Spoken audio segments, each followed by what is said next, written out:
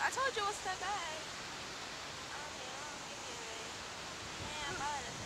That first part was horrible. That first part was just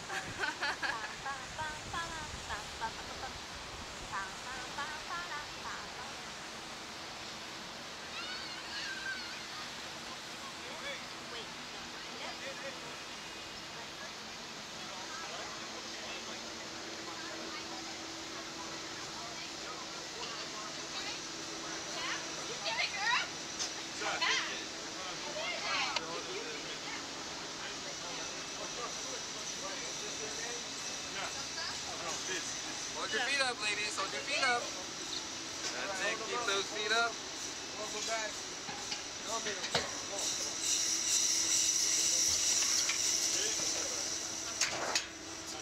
You can open your seatbelt.